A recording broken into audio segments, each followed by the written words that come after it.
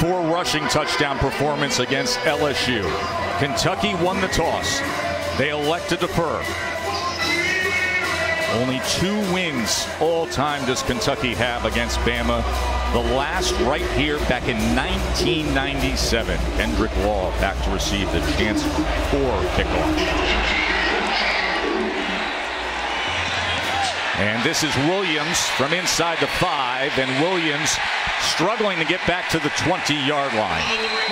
As welcome back to solid ground, Jordan Rodgers. Hey, Maverick, I like the look. Hey, you know, man. once you're in a Blackhawk helicopter, you get to be in the aviator family for good. Glad you're with us. Jesse Palmer finishing up some ABC duty, so Jordan joins us in the booth once again. Um, the Kentucky defense has quite the challenge against Milroe today. No doubt. And they play a lot of zone cover, so a lot of eyes will be on Jalen Milroe, But watch Trevin Wallace and D'Eryk Jackson, two linebackers for Kentucky, that have to make sure he doesn't run all over the place like we saw last week against LSU. A more decisive runner now, indeed, at this point of the season.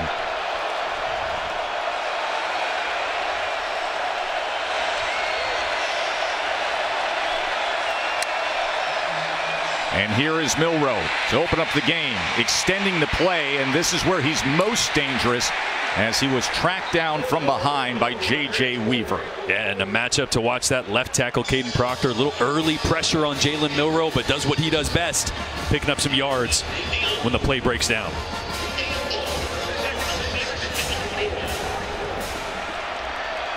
Five-yard run by Milroe.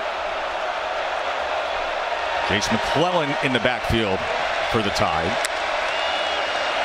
And he will get the handoff here.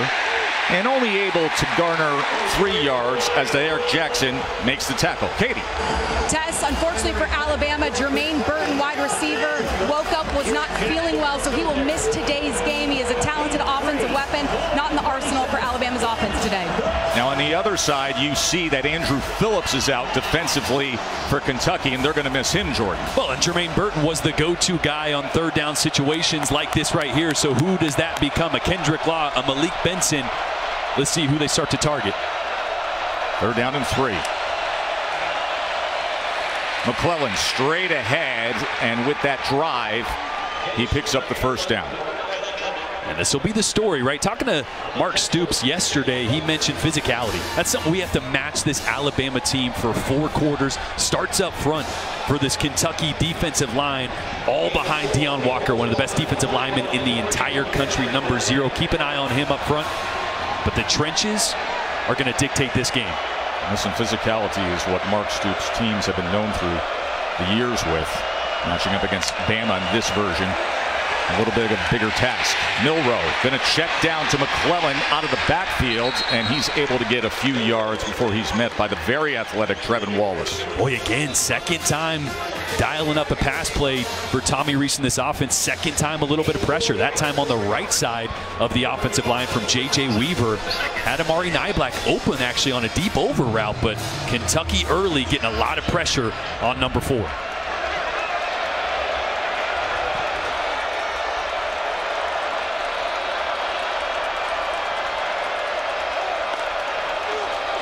Second and six. Milroe has to cut back against the green, and that is exactly what we talk about in terms of being a decisive runner. When he squares the shoulders, he's upfield. You see him limping and favoring his left leg. Boy, again, watch the flow of these linebackers over the top. Yeah, see, he sticks his foot in the ground, gets north and south, but might have taken a hit, a shot right to the thigh. The end of that play, look at this. As soon as he decides to get north and south, nobody more dangerous than Milroe. But watch the end of that play, right on that left thigh. I've been hit there before too, and it is, you, you can't feel your entire leg. It's like a Charlie horse on steroids. You get hit right in that IT band, right on the left side, outside of that quad.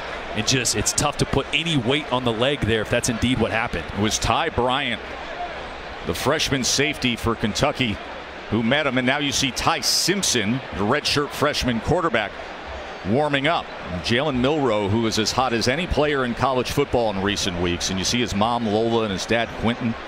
They are concerned as they look on and coming off by far the best game of his career the single game record for touchdowns by an Alabama quarterback, had 155 yards rushing last week against LSU. Yeah, this this offense has completely changed. Starting really that Texas A&M week, as you see Milroe get up, still a little gimpy on that left leg. But they have started to win because of Jalen Milroe, not with Jalen Milroe. And I think that's been the difference, adapting the offense around him to fit his strengths. But now, with a pocket passing quarterback coming in, got to go back to some of that offense that, that you started the season with. So Ty Simpson in at quarterback on this opening drive. Ty Simpson, who in week three was the third string quarterback, came off the bench to rally Alabama for the win at USF.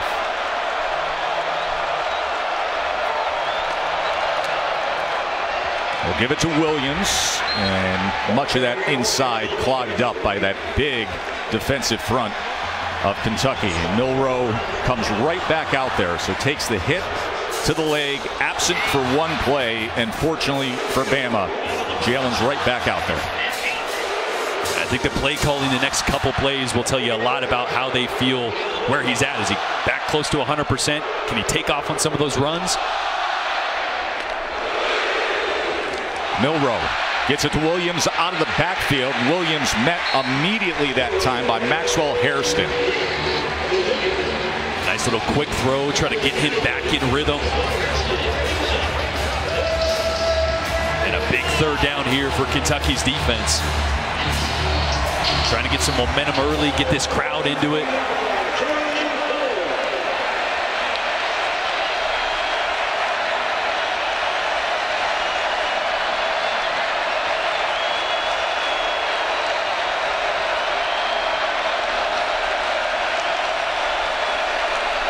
Third and four. Milroe with time goes to the outside and gets it complete to Prentice. First down tied. Oh, and a great job. Coming back to the ball here, Jase McClellan in the backfield. Watch the block by number two. Right up the middle, and then here's what I was mentioning. Kobe Prentice coming back to that ball, so the defender can't cut that off.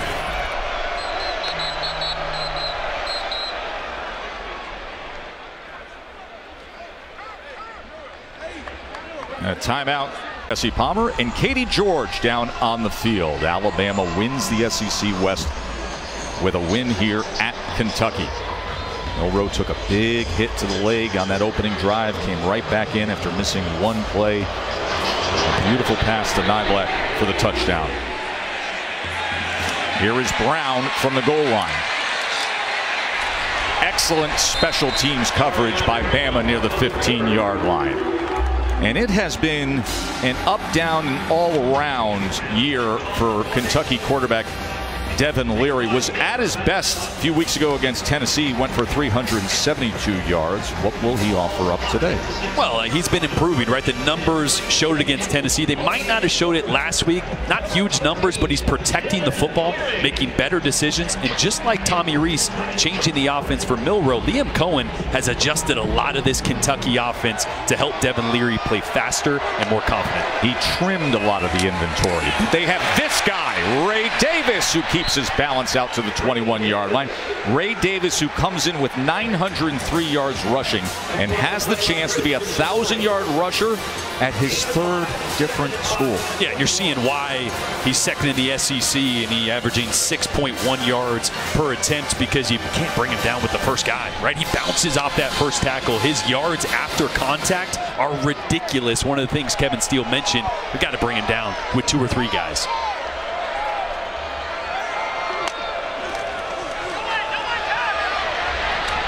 Second and five. Nothing there on the outside as Jihaad Campbell makes the tackle. Jihaad Campbell, who is in for Deontae Lawson, who's a very talented inside linebacker. So you look at the defense for Alabama, and they're without two key players. Jalen Key, the free safety, and Deontae Lawson, who really quarterbacks and makes the front calls for Nick Saban and Kevin Steele's defense. Yeah, that's why you worry about some of the play action that Kentucky does. Can they get behind these linebackers with a sail route or find a way to attack the middle of the field? And you see Caleb Downs showing pressure off the edge here. They're down in six. And they're able to get to Leary and then just thrown back by Chris Braswell. Chris Braswell just ragdolled Devin Leary. Boy, great games. We mentioned Caleb Downs coming off the left side of the line of scrimmage, and they're going to loop the end here to provide the pressure on Leary. Great job knowing that Kentucky's going to have to push the ball downfield, and Braswell was right there to clean it up. Boy, this defense will throw so much at you in the pressure game. Wilson Berry from his own end zone punting away. Kool-Aid McKinstry at midfield could put the Tide in prime position with field position for their second offensive possession. Instead, it takes a big Kentucky bounce. This offense adapt. And running the football with planned quarterback yes. runs, especially to the perimeter, which has been opening up passing lanes in recent weeks. Let's watch for it here. Play action. Milroe, look at the time he has and then is able to get it complete as he connects with Isaiah Bond, who leads the team in receptions. Katie. Tess, as expected, Jalen Milroe spent the entire Kentucky series in the medical tent receiving treatment. He came out, went through a couple of warm-ups, gave a big thumbs up to his teammates as he went back out on the field. Milroe six for six passing to open up this game. McClellan he goes nowhere as big Deone Walker at 348 pounds, but yet elite mobility tracks him down. Yeah, another thing to note as Milroe continues to pick apart the secondary a little bit is no Andru Phillips. Right, he's their field corner, so J.Q. Hardaway big 6'3", 6'4 corner is going to be out there playing a lot of the field. Was in on that last tackle. But again, no Jermaine Burt, but also Kentucky dealing with injuries in the secondary on the other side as well. Andru Phillips is a big loss. He's an NFL caliber nickel in that defensive backfield for Kentucky. Jam Miller is the running back. Play action. Milroe will run here. And Milroe struggles to get back to the line of scrimmage. Oh, there's J.Q. Hardaway. Just mentioned his name, filling in for Andru Phillips, tackling on the perimeter. Didn't take him long to go back to a design quarterback run there for Milroe. Not sure he had the same burst as I'm used to seeing. No. Remember that hit to the left thigh on the opening series. And now a third and 12.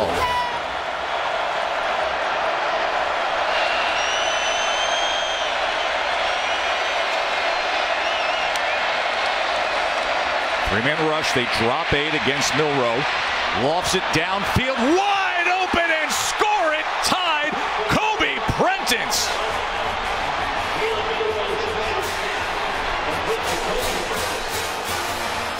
You can hit him in that left thigh all you want, but Milroe is unaffected with the arm.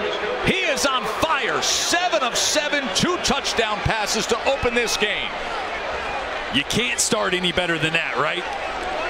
All of our attention on Milroe's thigh, but watch this sail route find this opening here. And because the quarterback steps up, because Milroe steps up, you see the secondary they step up as well, and they forget about the guy running right behind them. That's the threat of the left. Here's Brown from the two-yard line. And again, Brown struggling to find something. The story of Ray Davis is something. Because majority of their pass game is built off of the play action. It's built off of the run game getting going. So important for Mark Stoops and Liam Coen right now actually not look up at the scoreboard, don't panic, right? You got yes. you've only ran three plays, right? Get back to that initial script. And I saw Liam in the elevator on the way up here after I was on the Blackhawk, and uh, he was going through a script. He liked a lot of it. And he wanted to get the run game going so he could set up the play action. Don't abandon that just because you're down two scores. By the way, how awesome is it? was Veterans Day and you're up there in an Army Black helicopter. They had me in the seat with the door open the whole way, and I am afraid of heights. That's a real thing. So it took a minute to loosen up, but it was pretty awesome. What can Devin Leary and the Cats find offensively? Leary, quick strike to the outside. Ball is out. Ball is scooped. Caleb Downs reaching for the end zone and ruled down at the one yard line. It was Barion Brown who coughed it up. And Caleb Downs, the sensational freshman, that guy is just different. Quick to get on it always in the right place at the right time. But we didn't see if Barion Brown had this. Looks like he bobbles it a little bit as he's turning. Did he get complete control? Terrion Arnold there the corner, punching that ball out. Great heads up play. This Kentucky team has struggled with drops on the outside. Barion Brown and Dane Key. They've struggled with ball security. If that indeed is a fumble, and it looked like it is, a huge blow to Kentucky, as we just mentioned, trying to just get back on track in this game. It looked like he initially bobbled it, but as he was kind of bent over it, it looked like he had firm control there. So that's just an unbelievable play by Terrion Arnold. And it's no surprise as they go with the tush push straight ahead in for the touchdown. It's no surprise that it was Caleb Downs who was right on top of it. As Jalen Milroe scores yet another rushing touchdown, his 10th of the year, and he is limping more substantially. Remember, he took the big hit on the opening drive. Well, getting helped off the field there, too. Is that Amari Niblack there helping him off? And again, I mentioned I've had that injury, mm-hmm. and it is almost debilitating. But, you know, once you realize you're trying to put force off that leg, just can't. So just keep an eye on, on how that progresses. Let's go. So three total touchdowns for Milroe.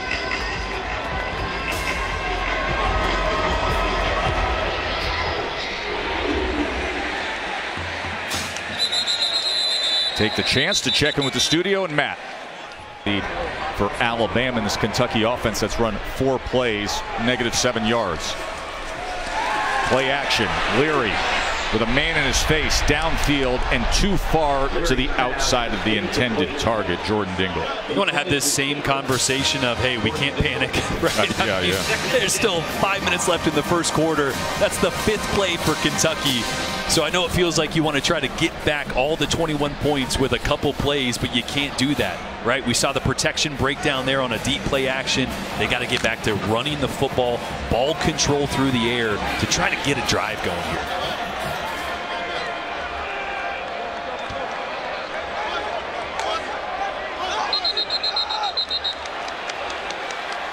Pre-snap penalty against Kentucky. Offense number six, five-yard penalty. It remains second down. Shows you some of those stats of just comparing the two offenses early on. You can also add to the list the average yards per play as Kentucky is negative 1.4 and Alabama's averaging 9.1 yards per play. Yeah, Tess, not an ideal start no. here for Kentucky. I think probably a worst case scenario start. But again, let's see if they can just get a few positive plays and get a drive started. Second and 15 after the penalty. Leary drives the ball incomplete to the inside of Tayvion Robinson. Yeah, pressure again in the face of Devin Leary. Saw that last play on a longer developing pass play that time. Trying to get something going over the middle. This offensive line has been improved for Kentucky. They're better than they were at times towards the end of last year, but this Alabama defensive front is something else. Isn't it? Braswell and Turner coming off the edge and on down and distance like this, watch out for that guy, Chris Braswell. Third in the SEC in sacks. Of course, Dallas Turner on the other side. Leary Shallow cross goes underneath to Ray Davis, who's going to be four and a half yards short of the line in the game. Kool-Aid McKinstry with the tackle.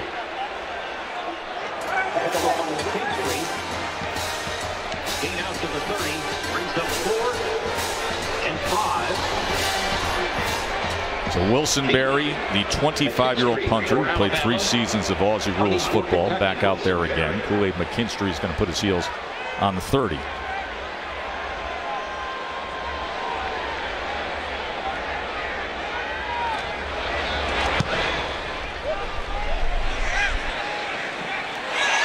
Ball is muffed.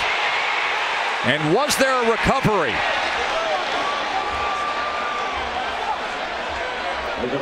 I think the ball went out of bounds there before Kentucky had the chance to recover.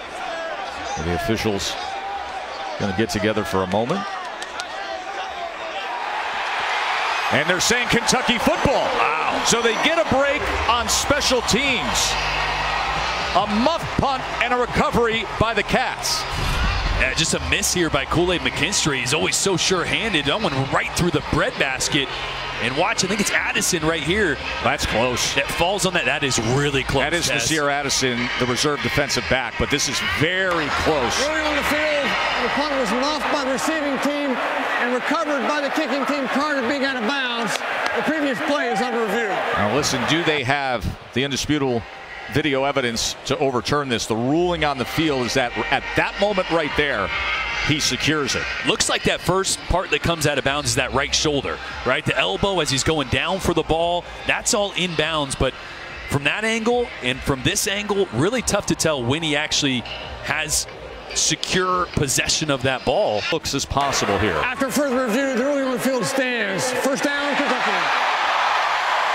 And they needed that desperately. And that's the first time with that play that Kentucky is in Bama territory today. And on life support early in this game, you felt like something like that had to happen for Kentucky to get a little confidence, get a little something going in their way early in this game because it's been all Alabama. Now a really important first couple play calls here for Liam Coen in this offense. Haven't been able to get anything going.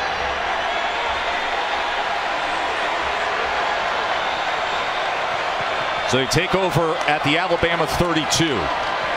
Davis trying to get the edge and find anything at all. As Davis was able to turn the corner before he is met by Caleb Downs. Caleb Downs who had the fumble return that set up the most recent touchdown. Want to remember with all these shifts and motions, Kevin Sealy even mentioned, man, when I flip on the tape, it looked like Canadian football with how much they move pre-snap. No Deontae Lawson, so Jihaad Campbell, Trezmen Marshall, guys that are calling out the adjustments as you see Barion Brown moving in motion to a formation into the boundary. Davis again after he just went for five yards and Davis will go for six this time and have a first down for Kentucky. And that is Kentucky's first first down of the day. Yeah, and I mentioned formation into the boundary. What does that mean? When you stick your passing strength and your receivers into the boundary, that takes number 13 right there, making the tackle Malachi Moore. That sticks him into the boundary. So a lot of times Kentucky's going to want to say, okay, 13 Malachi Moore, let's put you over here so we can run the opposite direction. The man in the white hat and shades is a 37-year-old play caller Liam Coen, who returned this year. His second stint here at Kentucky and Coach Stoops spent a year with the Rams and Sean McVay. Quick strike batted back, and I think Leary had that one moment of do I do I try to catch it? No, I don't think so. so Never an incompletion. Never a good idea. At 3:30 on ABC today, it'll be the rivalry game between Miami and a Florida State team that is aimed for the college football playoff. And then tonight in the SEC, 7 o'clock on ESPN, number 9 Ole Miss, number 2 Georgia. What a game that should be. Of course, we were in Oxford last week. We are with the program, sizing up what could be an incredible run for Ole Miss. Boy, they're going to need a lot of Tre Harris, as we saw last week, making plays all over the field to run four quarters with Georgia. Second and 10, Davis cuts back against the grain, and Davis will make it a third and somewhat more manageable as he's tackled by Dallas Turner. Jalen Milroe trying to keep that left leg warm and the blood flow after he took that big hit to the thigh on the opening series, but he has been flawless to put the Tide up in front, three touchdowns. Third and five for the Cats. A little bit of a passing situation. Keep an eye on Dallas Turner on the left side right there. He's been in the backfield in Devin Leary's face a few times already. Here he comes. Takes an inside move in his face again. To the end zone they go. And nearly a sensational catch, but drawing the penalty flag is Barion Brown as he was locked up with Caleb Downs.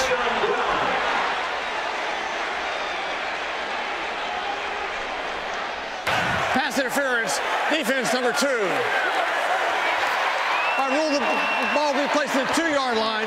First down. Well, it actually worked against Alabama, the fact that there was pressure on Leary, because that ball is supposed to be on the outside shoulder, but Dallas Turner in Leary's face, so he underthrows it, and he throws it inside, and that really messes with the leverage yes. on the outside right there, and that's why you have a pass interference. It's, it's, so funny. I mean, with game of inches and such a nuanced piece of analysis by you, Jordan, but Dallas Turner doing his job yes. well cost them on the back end. First and goal, Cats. A gotta have it moment after the turnover, the muff punt that was recovered by Addison.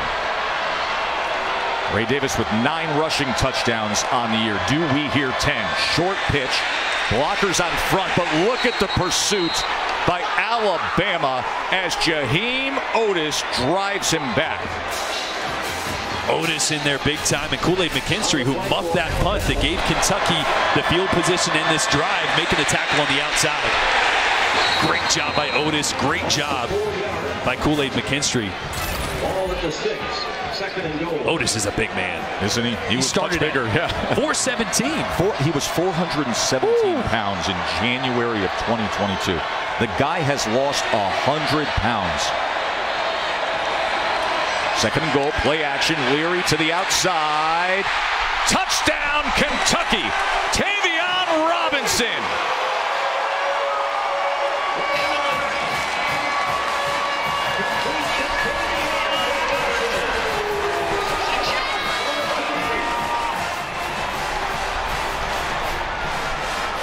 That was the answer that Kentucky needed, huh? Again, Kool-Aid McKinstry muffing the punt, set up the drive for Kentucky when they were on life support early in this game. And the answer that they needed. The offense was going nowhere. It took a special teams miscue and a hustle play by Nazir Addison to spark things. As Alex Milroe moments ago scored his 10th rushing touchdown of the season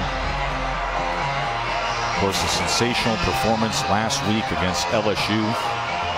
Not just scoring, but what he was able to do on third downs was 11 of 14, being so consistent with that offense.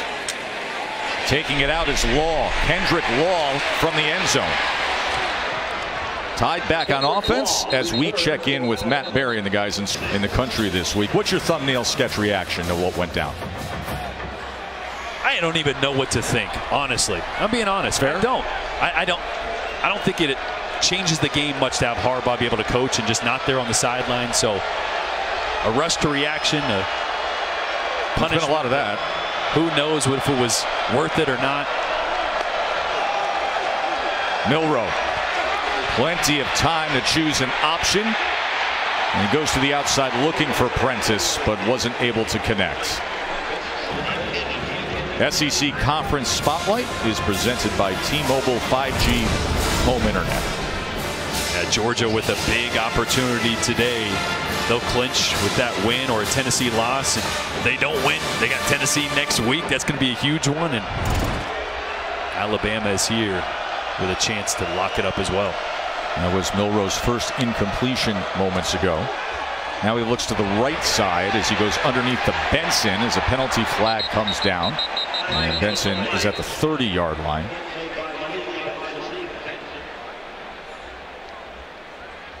Malik Benson was one of the big JUCO transfer targets nationally.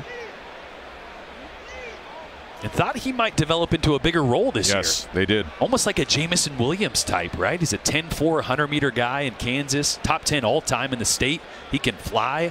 You always feel like Alabama is just, you know, casting the roles that they play. know. Yes. Pass interference, offense number 81. Personal foul, defense number 54 with a face mask. Those fouls will offset. We'll replay the down. It's second down. So they always sit there. They say, okay, who's our burner? Yep. Who's our go route guy? Who's our big bodied possession guy? Uh huh. You know, and they just that was the role that they figured Benson would take. Kendrick Law, I find very interesting in what he's developing into with this receiver group. They're going to see Dupree there. Little contact. At the end of all that, uh, let's just try this again. So second and 10, Miller in the backfield with Milroe. And here is Jam. And he finds a good crease before he is tackled by Trevin Wallace.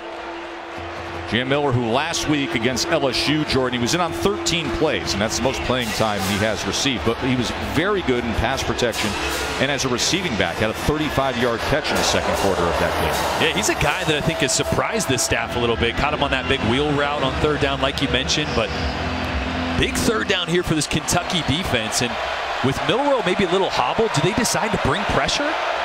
Let's see if they come after Jalen Milroe. They're walking around like they are. They might drop out of this, though. Third down and four, closing moments of the first quarter. Downfield again and going up for it, but incomplete was Hale. Coverage came from Hairston. And about as tight a coverage as you can have from Maxwell Hairston. Leads the SEC with five interceptions that time. All over it, breaking up the pass. 21-7, six seconds back on the clock in the first quarter. First third down, Bama hadn't converted all day long as they punt away. And the fair catch by Robinson around the 11 yard line moments ago. Katie with Coach Saban. Coach Saban, there was a lot to like about that first quarter. What did you think of your team start?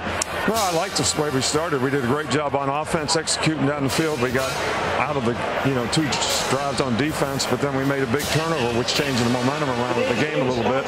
So we got to get it back, which we, we had the opportunity there in that series on offense didn't, didn't do anything with it. Thank you for the time. Joe Tessitore and Jordan Rodgers in for Jesse Palmer again. Love having you, Jordan. Reins of this offense over to 31-year-old Tommy Rees. Yes.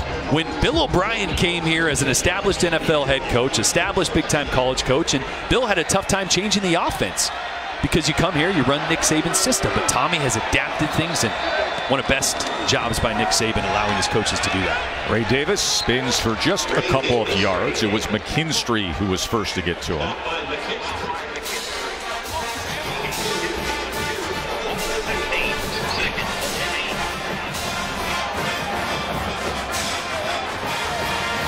This is where we're going to start to learn how much this offense, really specifically the pass game, has changed for Kentucky.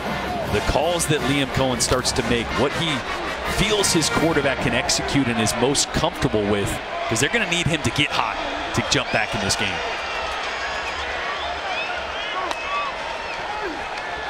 Second and eight. Leary checks down to Davis, and Davis slips up as he was trying to cut back against the grain. Gosh, more pressure, just running a little bit of a game on the left side of the offensive line.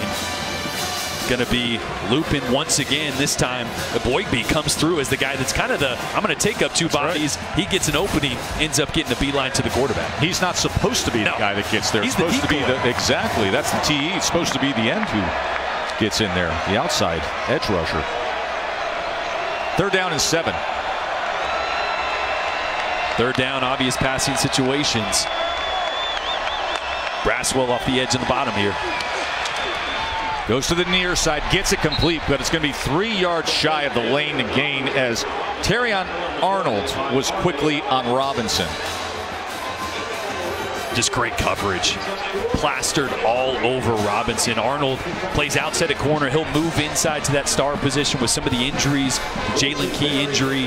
Third downs, he'll move inside. Such a versatile player. Third three and out for Kentucky. Remember, McKinstry had the muff punt moments ago that led to Kentucky's score. Berry on to punt again.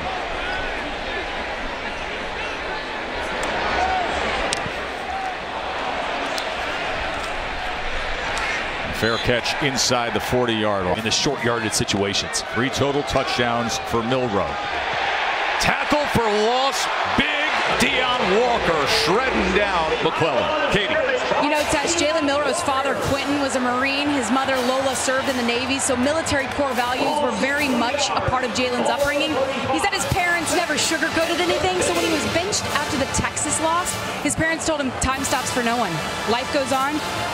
You can waste time feeling sorry for yourself, or you can address the problem head on, learn from it, and grow. And boy, did he. His teammates, his coaches applauded the way that this young man responded. Great messaging. They fake the short pitch and then he connects with Dippre. CJ Dippre.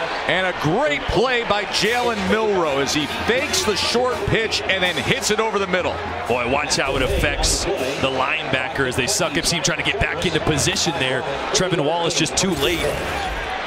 with Dippre running right by him. This is Benson, and Benson tips toes the sidelines as they were quick to get to the line and snap that ball. And now you see the rhythm and tempo of Alabama. Yeah, watch this linebacker suck up and then try to get back into position there. Great job with the play action. That was a 15-yard reception by Benson. McClellan showing a little bit of toughness on the inside there as Deone Walker wrestles him again. And Deone Walker is a guy that he, has got to take over a game, right? He is absolutely capable of it. Talking to defensive coordinator Brad White, said, look, when he's at his best, he is one of, if not the best defensive lineman in the entire country, and that's valid. That is true. It's the plays where he either takes it off or catches a breather at times that they need more consistency out of it. I love a big man when the jersey doesn't yeah. occupy as much space as the t-shirt underneath. That's when you know you're big, 348 pounds. Second and seven, design quarterback run. Milroe trying to get to the corner. Flag is down as he shows you that athleticism getting around the block of Jase McClellan. But we'll see if we walk this back as the flag is down at the 22-yard line. Maybe too many guys on the line of scrimmage, or no? Maybe not somebody off. I think it might have been a formation issue down here at the bottom with the flag. Two fouls on the play, both on the offense. Illegal formation yeah. on the offense will be declined. Holding, number 65 of the offense. 10-yard penalty for the previous spot. Repeat second down. It was indeed, as you said, the illegal formation, then the holding call. Yeah, all these guys here kind of on the same level not enough guys on the line of scrimmage. But there. these are the kind of plays yeah. that they now have in the playbook for Jalen Milroe. The designed quarterback runs to the perimeter, and it has changed this offense entirely. Yeah, I think Tommy Rees mentioned on Thursday when we talked to him, I wanted to take some of the quick decisions off his plate, right? And just let him be an athlete, give him a couple lead blockers, get him to some green grass, and let him take over. And that's what they've done starting last week. Second and 17 after the penalty. Niblack in motion. He had the 26-yard touchdown earlier. He looks that way. And now trying to direct traffic and gets it complete to Williams. And Williams is able to turn the corner and score it for Alabama. Jalen Milroe extending the play and finding Roydell Williams for a 27-yard touchdown.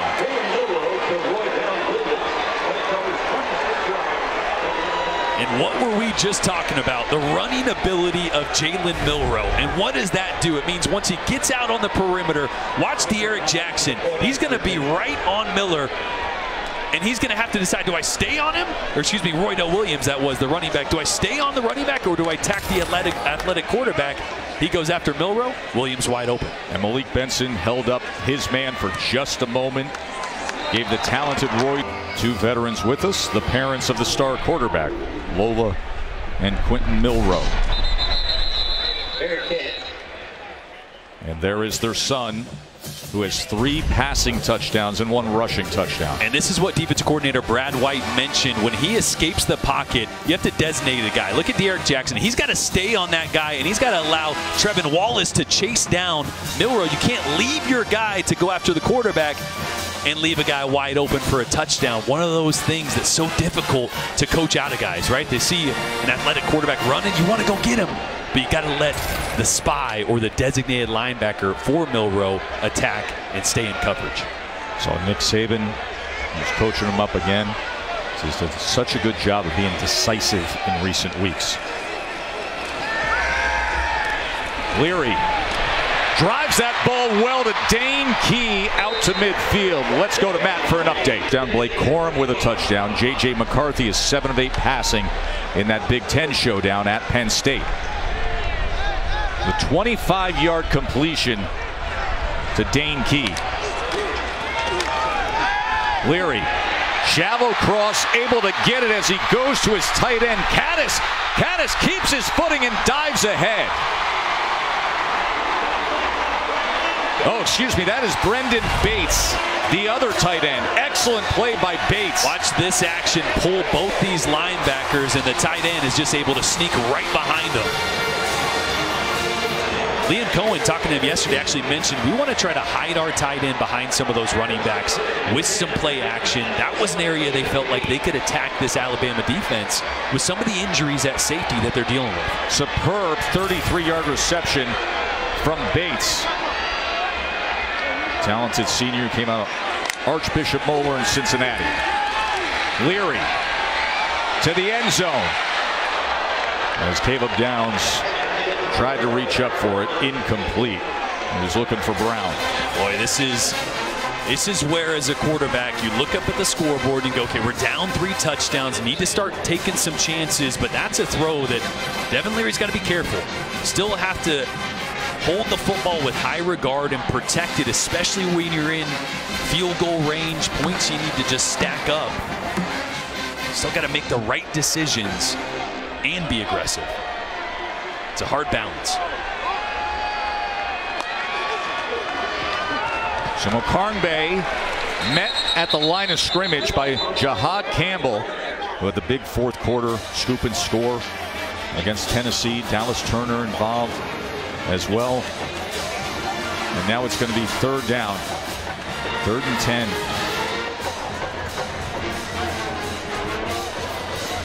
Well, the MO on third down has been games for this Alabama defensive front. Not as much blitzing, but a lot of games getting Dallas Turner maybe on the inside, Chris Braswell maybe on the inside with some of those TE stunts. Let's see where they use Dallas Turner. He's going to start over that left tackle right there. See if they bring him back inside. Oh, they drop him. Third down and 10, checking down Ray Davis. Can he get there? Trying to split defenders, and he's unable to get to that line to gain as Story and Amos combined for the tackle. That's all right. They got him in a situation where they can go for it here on fourth, and I think you absolutely have to as Kentucky brings in two big tight ends. Alabama answers bringing in Jaheim Oatis. Big body up front as well. Kentucky's one of seven well, Alabama. on fourth down this year. Yeah, they were running guys on late there. They Didn't have the right personnel package in. Nick Karngbe. And they motioned out of this right before the tight end. Let's see. Excuse me, timeout. They do again. Fourth down and one. Leary in the shotgun. And he is sacked. He is brought down and a turnover on downs as that Bama front just collapses on him. He threw the ball and it was batted back in his face. And he was able to secure it, and then he was taken down. It was a boom boom of the ball deflecting right back to him. And big Tim Keenan and Oatis were right there. Yeah, I think a Eboigbe maybe got his hands on it there. And again, there wasn't anything there. I don't think he was completing that throw, even if it got through the line of scrimmage there interesting, right? You got Ray Davis, you got three tight ends in the game. You need just a little bit. And you trust your quarterback that is playing better last couple weeks, but this past game has struggled. Kentucky on the season is one of eight on fourth down. And that's how they turn it over when they had a scoring opportunity. McClellan, look at Chase McClellan slither through. Excellent run by the senior from Aledo, Texas. And this is where Alabama, I think, has got to start leaning on Kentucky a little bit. This is where that physicality that Mark Stoops mentioned yesterday, where Alabama gets a lead and they want to just start bullying you up front. Eight yards from McClellan. Their leading rusher by a wide margin.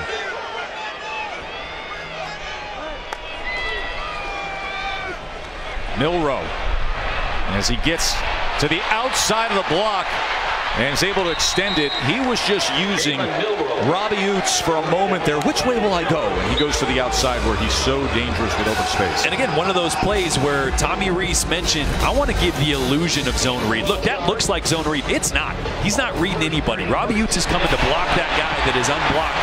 That is a quarterback run the entire way. And that injury that we saw earlier, maybe not having the impact that it looked like it might have in early in the first quarter on Jalen Milroe. Milroe with a man in his face. This ball is lofted downfield as Bond went up for it. And that is incomplete as he was juggling it out of bounds. Katie. You know, Tess, between every series, Milroe is getting treatment on that left thigh. He's been on the bike multiple times. They've wrapped it with heat. They've wrapped it with stem. You guys know better than anybody there's a difference between being hurt and being injured. He is managing pain right now and playing for his team. Yeah, he's hurt. And again, I've had that same injury. It's not fun. And you just got to continue to find ways to loosen it up because it gets tighter and tighter as the game goes on. Second and 10, Jase McClellan.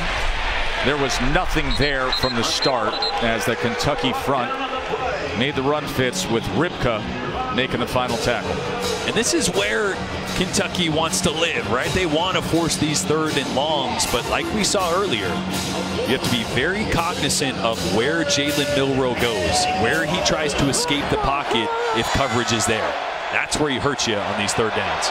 See Roydell Williams pointing out pass protection on that left side, third down and 11. Kentucky's going to drop eight here. It looks that way, doesn't it? In zone coverage, so a lot of eyes on Milroe. Let's see if he can find an opening. They only bring three. Delayed, though, on the near side as Milroe is being chased down, turns the corner, and that ball is intercepted. He went back across the grain, and Jordan Lovett picked it off. The interception for Kentucky. Jordan Lovett, who missed the last couple weeks, returns today and comes up big. Well, this time they put a spy on Jalen Milroe. Oh, that's not him. Sorry, it was a defensive end that dropped out right there. That's what forced Milroe to get all the way to the sideline, and then you can't make that mistake, right? Nope. Laid across your body. That's day one stuff. You can't do it as a quarterback. And then it was a turnover on downs on their last possession. Leary gets the ball out quickly to Brown.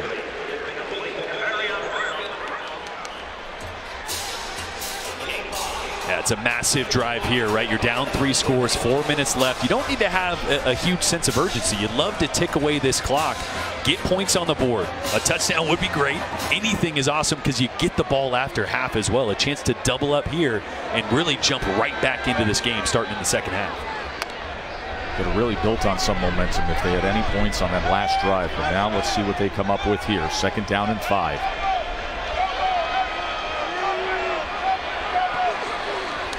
Play action. Leary. And it's tight coverage from Caleb Downs as he was looking for Tayvion Robinson.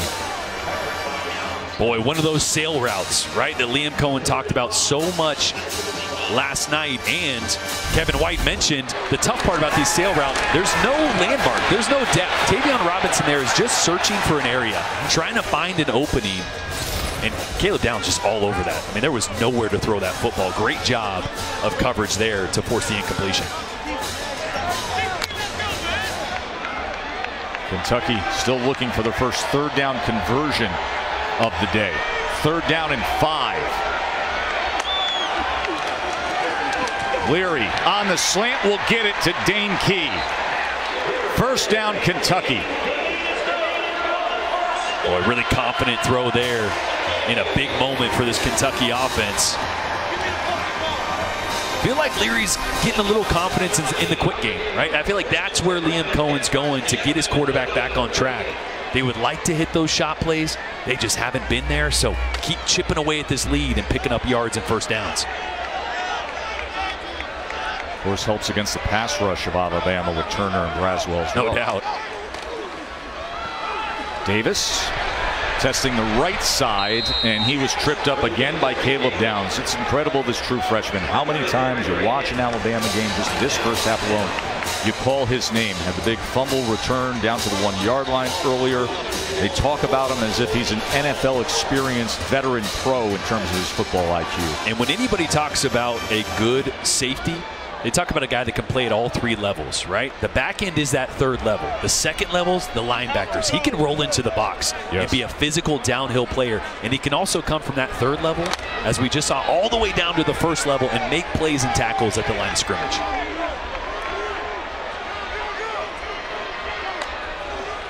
Second and 11. Leary threw it behind the intended target. So he was trying to find Kattus.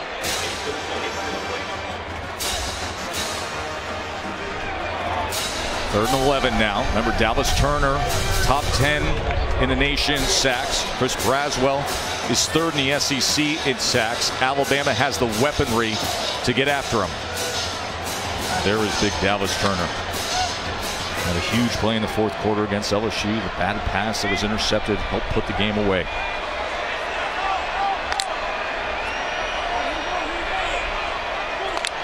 Third and 11. Excellent break on the ball from Arnold. Terrion Arnold. What an interception. Roll Tide.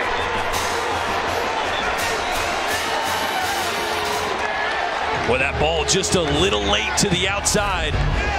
Watch this second movement. That slide right there, see that? When his third foot hit the ground, the ball didn't come out, and that ball was a hair late. Terrion Arnold able to under. Made us so we can embarrass you.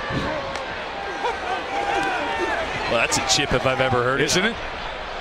That's incomplete, that diving effort. Moments ago, he just got that interception and had the interception that we were referencing last week against LSU when Dallas Turner made the big play of the tip ball of Jayden Daniels pass. That was Arnold who got that interception in the fourth quarter, and now he gets this one here in the first half against Kentucky.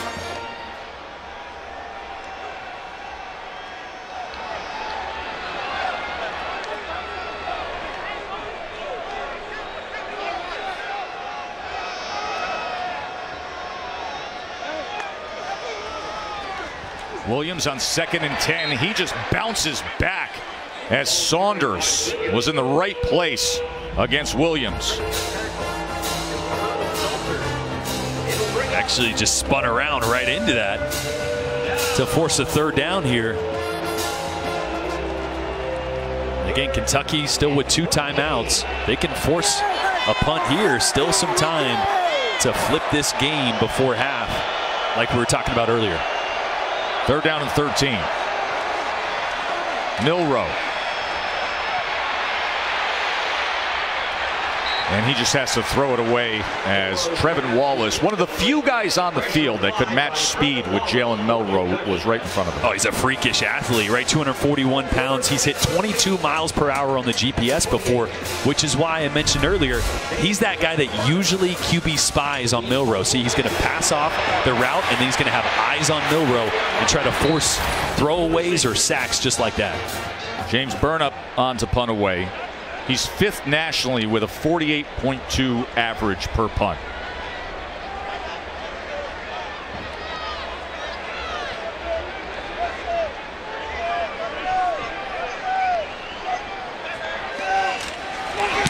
Come after it. Nearly got to it. They came up big on special teams before. And here's that. Look forward to the entire day of college football. You and I got to find ourselves a good steakhouse in town for those 3:30 games. A few adult bevies, little, Oh, little yeah. grub. Make sure to stay hydrated. First down run, Ray Davis. Straight ahead. He works his way for that final push out to the 38 yard line. Damon Payne with the tackle for the tie.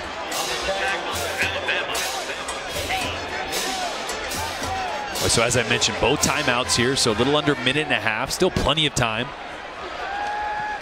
Devin Leary with time, and that's a good, good pass where he basically just forced it right into Josh Kattus. And it's a first down for Kentucky. Yeah, that same route that he missed earlier to Kattus when they had the football, threw it right by him, right on target that time.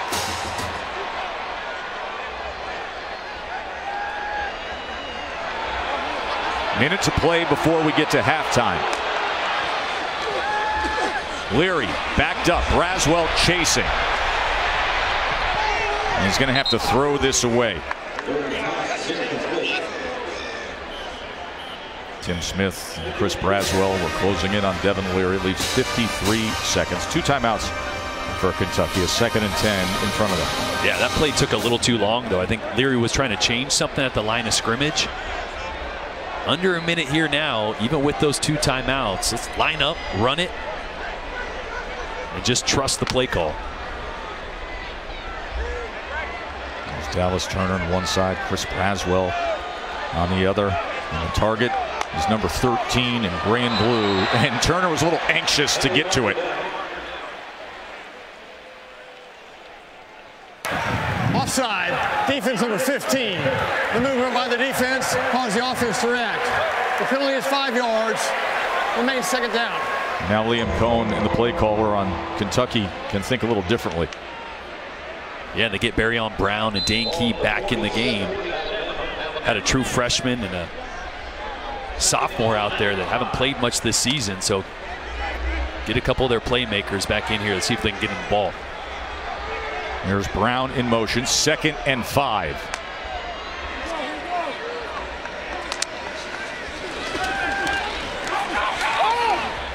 Leary goes underneath to Davis, but Campbell was right on top of him. Campbell's a guy that could start to emerge as one of the next great ones. He's getting extended playing time because Deontae Lawson is out injured today. Yeah, Deontae Lawson's the quarterback of the defense, so so Campbell's got big responsibility today, especially with how much Kentucky moves. He's got all the physical tools. I think Kevin Steele and Nick Saban were excited to see him communicate and run the show today, which he's doing a good job of so far. He was an edge rusher in high school, a little different playing in Saban and Steele's system as an inside backer. Third and three as the flag comes down, maybe the right side of that offensive line. Jeremy Flax trying to get a little head start there on Chris Start Braswell. On the offense, number 77. Five-yard penalty. It remains third down. You know, I believe made famous by David Bakhtiari of the Packers, former Colorado Buff. A lot of guys in the NFL now really trying to time up that cadence to get just an extra half a second to set the angle against good defensive ends. Flax was awesome when we were here in that Florida game. Thank you. They ran for 300 yards, and Flax was named the SEC Offensive Lineman of the Week. Ray Davis had 280 in that game, and could have had more if Oh, they just went with the yeah. play calling in the fourth quarter. Could have set the all-time He had like school record. 200 and something in the second quarter, I believe. He did. Third down and eight.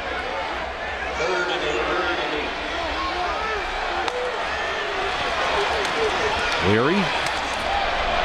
Downfield and too far to the outside of Robinson. Amos was there with coverage. Boy, a really good idea by Leary. Just trying to throw a jump ball, back shoulder throw. With Chris Braswell looping around, providing a little bit of pressure on him, speeding the process up, but just a little too high for Robinson on the outside. And a big missed opportunity there for Kentucky to not even just get in field goal range to try to get some points on the board before half and before they get the ball back in the second half.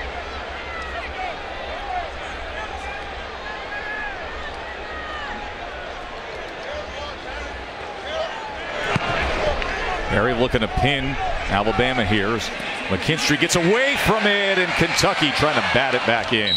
He's in a level where he can drink a little bourbon, have a little sip on air. Me, I don't think they'd let me do that. No, no, no. Boy, Del Williams, we're glad you listen. You're up there in a Black Hawk helicopter. We Yeah, yeah. as good as can be. Final seconds ticking down. What an interesting first half for Jalen Milroe. Comes into the game red hot off of the four rushing touchdown performance against LSU and gets banged up. I mean, takes a big hit to the left thigh, has to leave the game. Comes back into the game, and he's been nearly flawless. Three passing touchdowns, the rushing touchdown, and a 28 to 7 lead. Number eight, Bama out in front, looking to claim the SEC West yet again. Katie.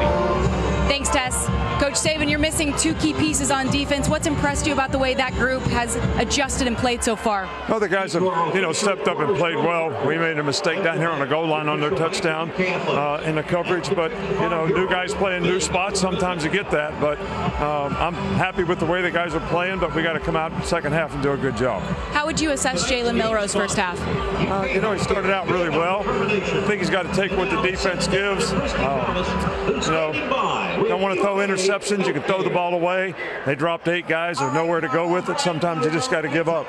Thank you for the time. All right, thanks. Always a coach. Got to find ways to get him involved in the screen game through the air. Still got to get your best player involved. If you're going to get back into this one in the second half. There's Devin Leary, the transfer from NC State. There was a players only meeting a few weeks ago. He performed very well against Tennessee, had 372 yards passing. They've tried to trim some of the inventory, as they say, of the playbook so that he can play a little more decisive and eliminate some of the slow developing crossovers. But nothing is slow when it comes to the Bama defense, whether it's the edge rushing of Turner and Braswell or the excellent play in the defensive backfield by Caleb Downs, McKinstry, and Arnold.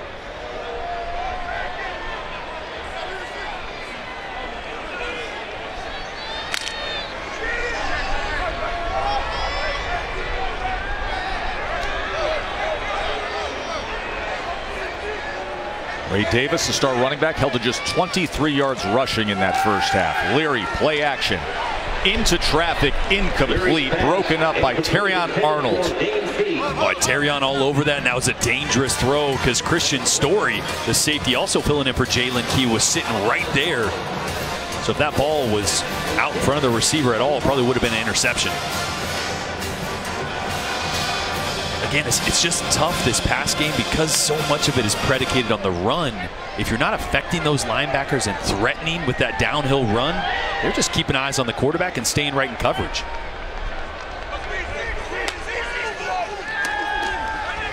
Second and 10, going to check it down. Davis, blockers in front. They set up the screen as he's able to get the first down.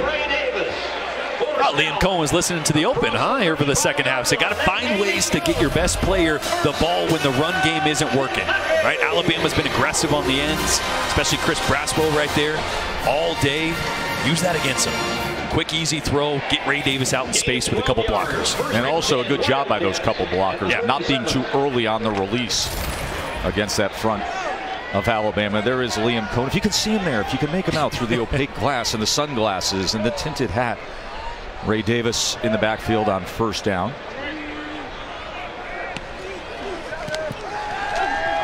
Picks up the pressure as Leary just had to throw it away. Terrion Arnold was fighting nonstop to get to Devin Leary, and Tim Keenan joined him there.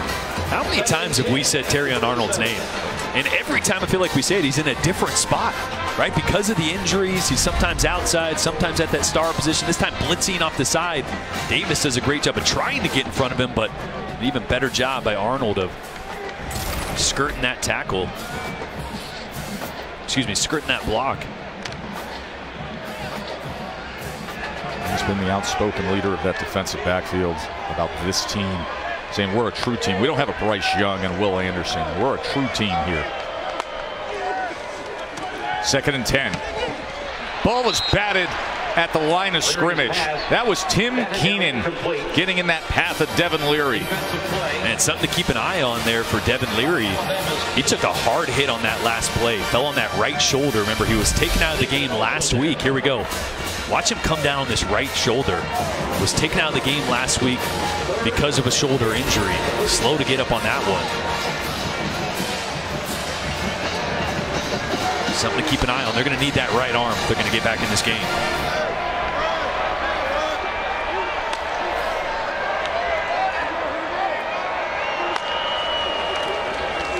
Third down and 10 right in his face immediately.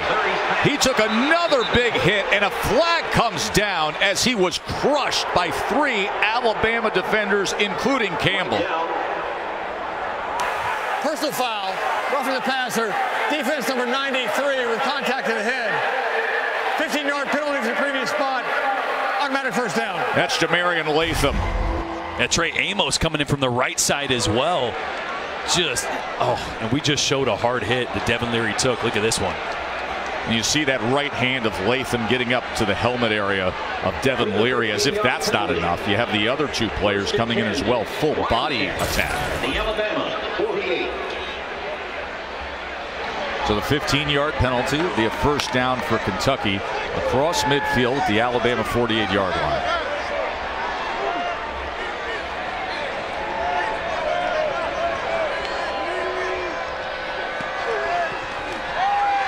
Leary off play action. And coming back for the ball and getting it is Josh Kattus. It's a heck of an effort from Kattus. Wow, unbelievable. Look at this ball underthrown does a great job of adjusting. Let's see. Ooh. Does he have firm control when his body hits out of bounds? Right elbow comes down, but does the ball move right there? I don't know. I think that's a great effort. Yeah, I think that's a great catch. He pins it against his shoulder pads. And you do not see any wiggle in that football. Josh Kattus with Wow. great body control. That's pretty unbelievable right there. What a catch. First down, Cats. Leary. Incomplete. Sumo Karngbe almost turned and had a touchdown, but he couldn't hold on to the ball. Boy, and this is a heck of a throw by Devin Leary. I mean, the ball location here to get it on the back shoulder of Sumo Karngbe, who initially looked like he had it. That's a that's a really good job there by Kool-Aid McKinstry of attacking that ball with his right hand. You see here the progressive pylon, watch his right hand come in here There it is on the progressive pylon cam. and just punch. Left hand as well. Great job by Kool-Aid there. A pass broken up by Kool-Aid McKinstry. Second down and 10. Leary pressured again, tries to spin out of it, and he does. And gets it complete near the 10-yard line. That line to gain as he goes to key. Boy, Trezmen Marshall had a free hit on Devin Leary. I tell you what, there's one or two plays a game, every game where this happens to Leary. Somehow he gets out of a jam like this. Did it against Missouri, did it against Mississippi State. Great job of spinning out and finding his receiver. Boy, the natural tools that Leary has, that's what it just keeps you coming back going, man, this guy's got so much good football that he can play. It's consistently making those decisions and those throws. They're going to mark him short and a third down and one.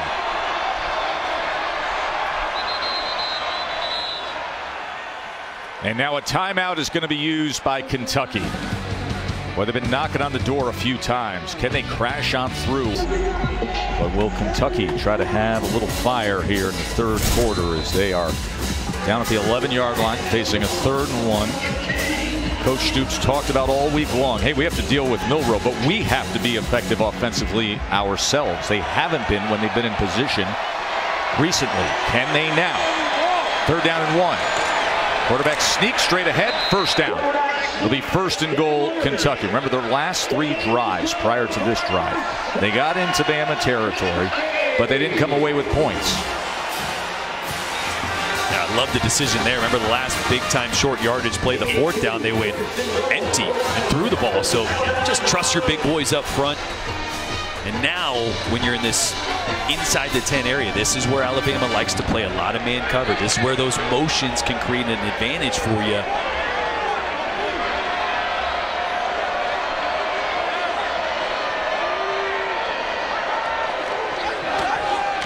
Motion as they go with the orbit to Brown. Brown trying to get to the corner and reach out for it as he came around and took it ahead for seven yards. He's second and goal from the two. Well, I love getting the ball in Barion Brown's hands like that. He's been quiet through the air, but he's a guy that's probably the most dynamic for this Kentucky team. So they need to find ways and continue to find ways to get him the ball. But this is where this is where Kentucky teams have passed. They just lined up and said, "We're going to push you into the end zone." Let's see if they have that same mentality here. That big blue wall mentality. Davis, yes, they do. As the offensive line paves the way for sweet baby Ray.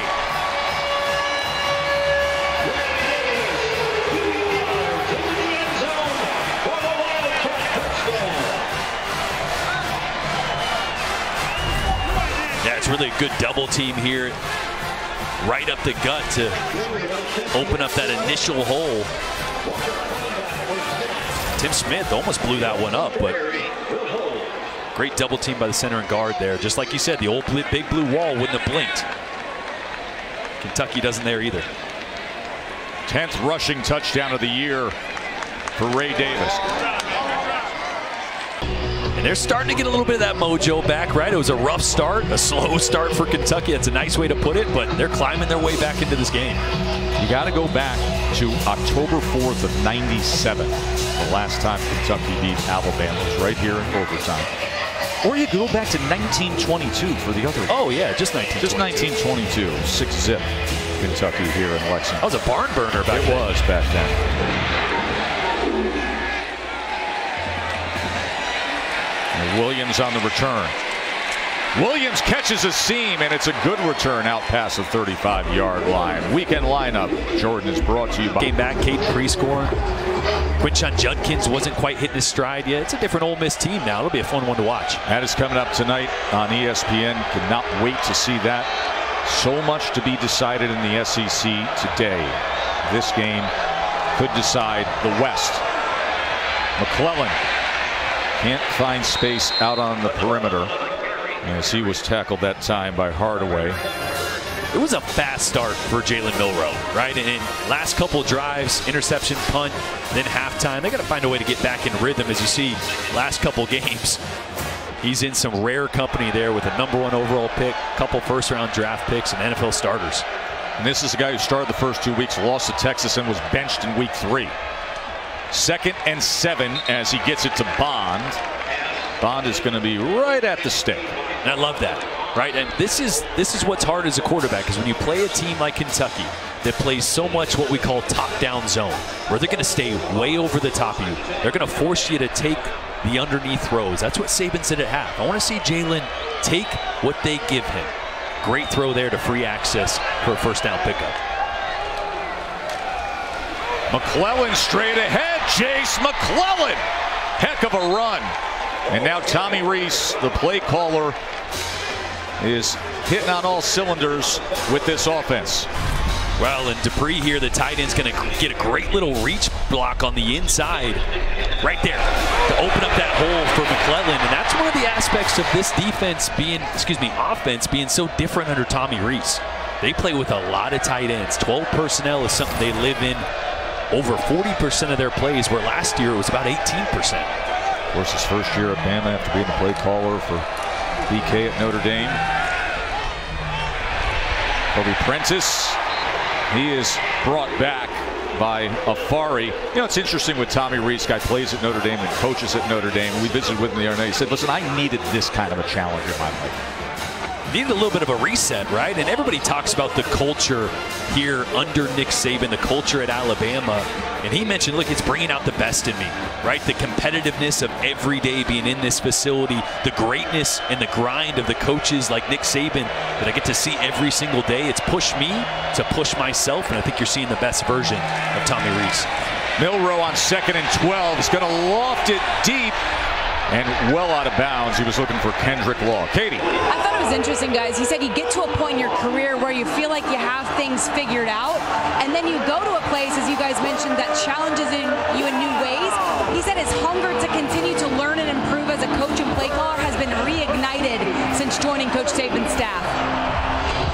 And now Tommy Rees, as you see his career timeline, is facing a third and 12.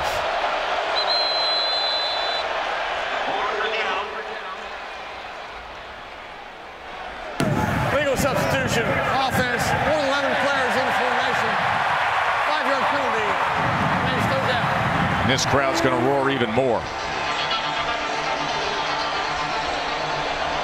Uh, third in California here, not much to call, especially against a team that wants to play so much zone. So if they do decide to pass it, let's see if they can give Milroe enough time. Kadyn Proctor, the left tackle, has been a work in progress. It's going to be one-on-one here on the outside at the top of your screen. True freshman, one of the top recruits in the country. See how he holds up. They back off into coverage on third and 17, and he converts. Kobe Prentice again. Jalen Milroe with that protection, able to find his receiver Prentice. First down tie. I mean, look at this pocket. Does it get any better than this? When you give Jalen Milroe time to scan the field, that's one of those sail routes, one of those deep crossers where that receiver is just searching for green grass. Not really a landmark, trying to get across the field to the numbers and find the opening, but great protection up front across the board. Milroe pitches eventually to Bonds, who is pushed out of bounds. And this again is one of those flood concepts that we highlighted at the beginning of the game. You're Going to have someone really deep. You're going to have someone on an over route, someone in the flats, and Milroe gets to his second option, the over route there. And because of the protection, able to put that right on the money.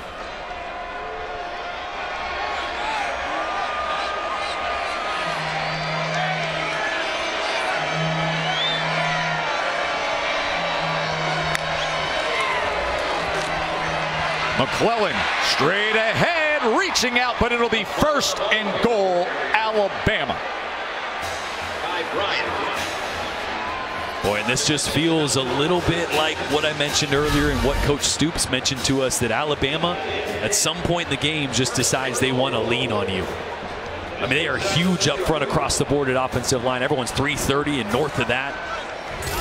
You have to match the physicality of an Alabama team at the line of scrimmage for four quarters, and right now, Kentucky giving up a little bit too much.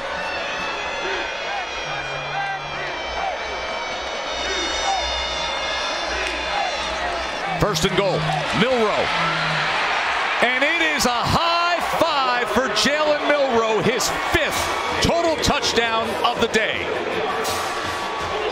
Lola and Quinton, who served our armed forces here on Veterans Day, watching their son continue his ascent. Well, when you score something like seven touchdowns or so in the last, how many? Eight quarters, nine quarters, whatever it is, mom and dad, it's just kind of a golf clap at that Oh, point. hey, You're well, used to week, it. five to There's nine, nine. Oh, nine, sorry. nine touchdowns in six and a half quarters of foot unranked opponents. They are the number eight team in the country facing these cats up 35 to 14. Katie. You know, Tess, a while back, Tommy Rees told Jalen Milroe, I don't ever want to call a play where you feel anything but comfortable and confident. So if there's something you don't like, tell me. I'll take it out immediately. Rees said he and Milroe really collaborated on the packages we're seeing now. They meet every morning to go over things. They spend extra time together on Fridays. Rees said anytime you can empower your quarterback and they feel like they are a part of the decision-making process, they become more invested in the offense and it raises their level of play. As you guys mentioned, he should know he played the position. That's right. And they've been finding ways to run him on the perimeter in recent weeks. Things that weren't in the offensive playbook even a month ago, they say. Ray Davis is stacked up and driven back. Combination of Tide players, including Campbell. When I love what Tommy Rees said about the benching and how that forced Milroe to change his preparation. Started asking for more meeting time, wanted to talk about more things, meet more frequently, go over the game plan in a different manner. So totally changed his approach and preparation to the game. And I think that's why you're seeing him play at such a high level in part today. And in your career, when you were with James Franklin Yeah. at Vanderbilt, at the height, you guys were going to back-to-back bowl games. Yeah. That happened to you. Did the same thing. I got benched week three against Presbyterian for really just the reason to kind of put me in my place. Show me that, hey, you don't just get to come out here and play quarterback. You got to put in the work. And it changed the way I prep. And Devin Leary there in the arms of Chris Braswell once again. Second sack of the day for Alabama. And this is the quandary you're in. Down three scores is you have to push the football down the field. And Payne actually in there and Braswell. You can see Payne working on the right guard there. Man, coverage downfield, just there as well. Plastered. Great coverage. Oh, we got the great divide. you don't see that great divide a There's lot. one way to hedge your bet. That's it. See that in a couple weeks with the Iron Bowl a lot back in the great state of Alabama, but not often with Kentucky in Alabama. Third and 21. Leary's going to go underneath to Key, who's going to be well short as he's tackled immediately by Caleb Downs. Just a frustrating day top to bottom for Kentucky, but a really good day for that young man, Caleb Downs. And as Mark Stoops tries to figure out what's going wrong with this offense, it's been a myriad of things. Protection's been up and down. Decision-making accuracy at times up and down with Devin Leary. And you can't do that against a number eight team in Alabama. Four times now it's been a three and out for Kentucky as Berry boots it away. Kool-Aid from the 35-yard line. Here goes McKinstry. Excellent return inside the 40.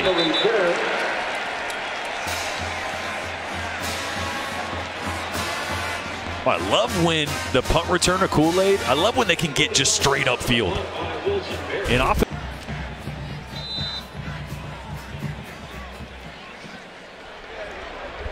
So a short field for Alabama. They start on the 38.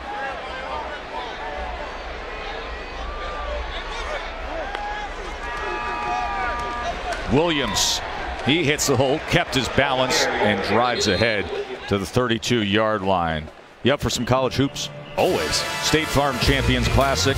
This is Tuesday, 7 o'clock. Duke, Michigan State, number two, number four. You got Kentucky, these cats, against number one Kansas. But the best part is in between the reveal of the college football playoff top 25 rankings after game number one between Duke and Michigan State. And will that shake up a little bit, right? If Georgia. I thought it was going to shake up. I thought it was too. If Georgia knocks off an Ole Miss, then I think they have earned the right Oh, to jump Ohio State to one. But Not even a question. Williams, good run for a first down. I mean, that is the most substantial game, and this is the part of the Georgia schedule that you knew was coming. You just. Kirby said, "We don't even look. We don't even care at that number next to our name. It's probably going to be a one if they get through tonight." no doubt it's got to be right. And with Tennessee on the horizon, Tennessee sitting just outside the top 10 in the college football playoff rankings as well. They're going to find out what they're about. And hey, maybe a Brock Bowers gets back on the field tonight, You think? changes things up. If Tightrope surgery and back that quick? no, never doubt out Bowers. Williams with Ouzts blocking in front, but cutting through was Afari to make a good tackle on Roy Roydell Williams. And Afari doing a good job today as well. We mentioned to start the game that Andru Phillips was out at corner. He's the guy that usually plays that nickel spot. Alex Afari's been all over the field playing some stars, some safety, getting down around the box.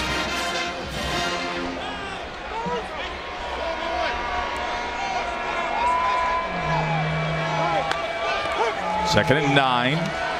Milroe gets another completion. This goes to Niblack, who had the touchdown earlier today. Boy, once again, almost using Kendrick Law as a decoy, moving him from one side to the other. He's going to go wheel route up the sideline. He's going to pull those defenders out of the way for Niblack to find that vacancy in the zone there. Another flood concept for this Alabama defense, excuse me, offense. They've been money on all day. Jam Miller. And he's inside the 10 yard line. Good to give Jason McClellan a bit of a rest with Roydell Williams getting carries, Jam Miller getting carries, just managing this point of the season. No doubt. Everybody's banged up at this point. Alabama especially. Not as much on the offensive side, definitely on the defensive side of the ball. But their next two, Chattanooga, so hopefully get a little bit of a breather there, but then the Iron Bowl right after that. Another big matchup before a potential SEC championship if they uh, hold on today, obviously. Punch their ticket with a win today.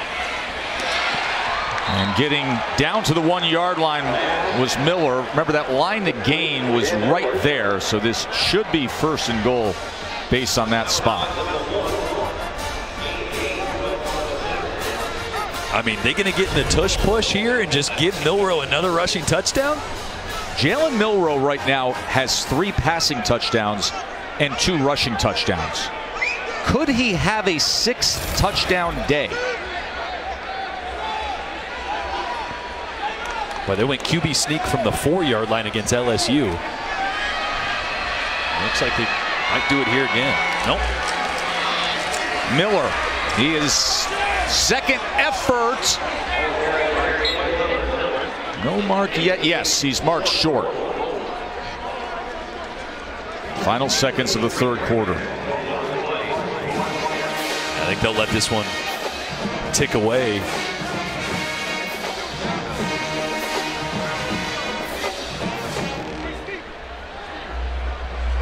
Get to the fourth quarter in control.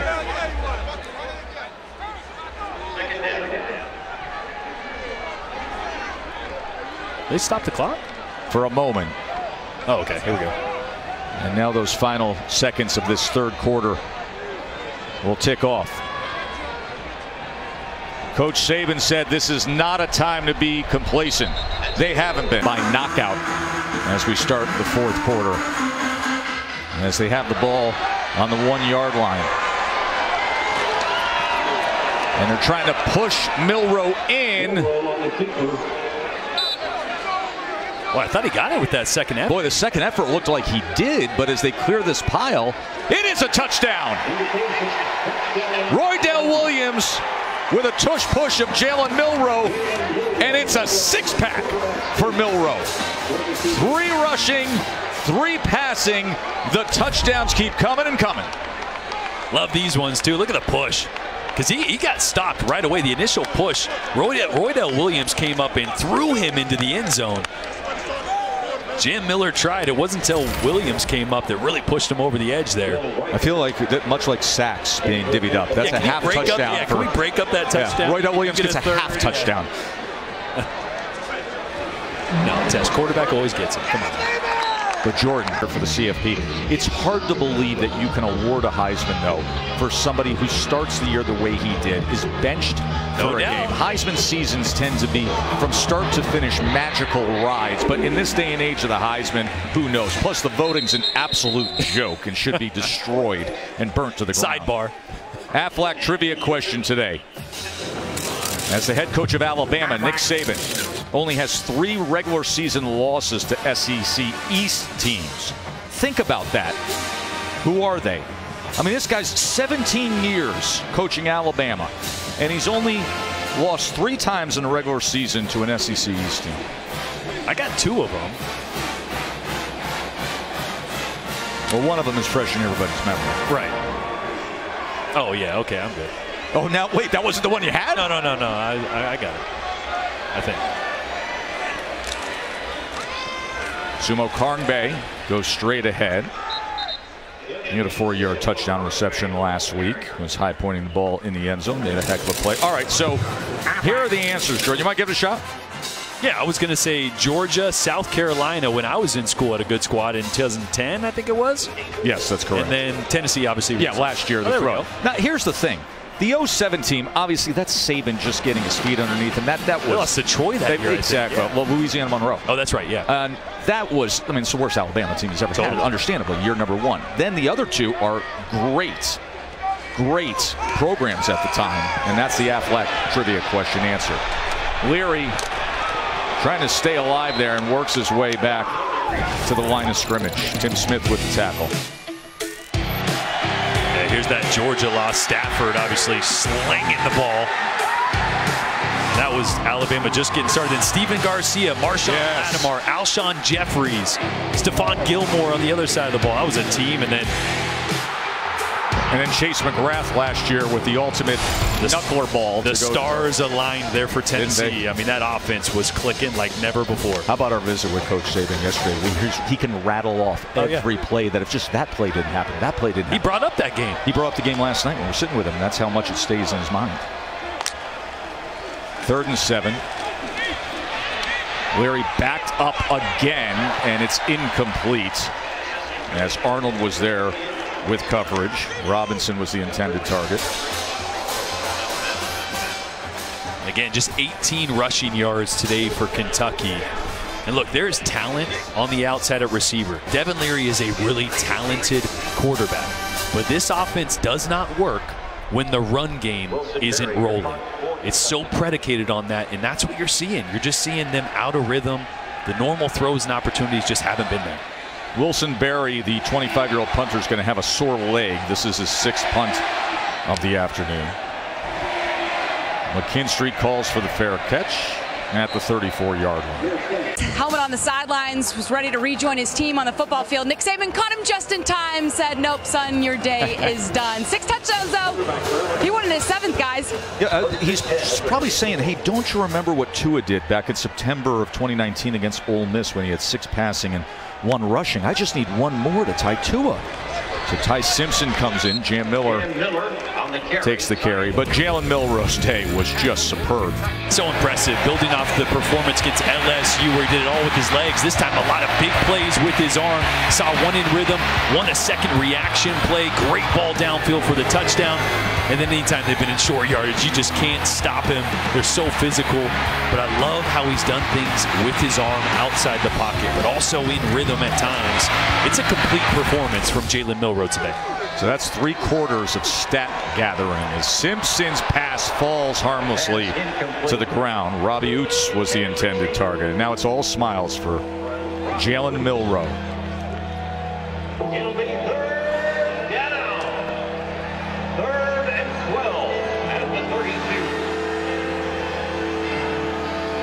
Ty Simpson, his father Jason, head coach at UT Martin. Alabama 17 unanswered points in that sluggish win at USF.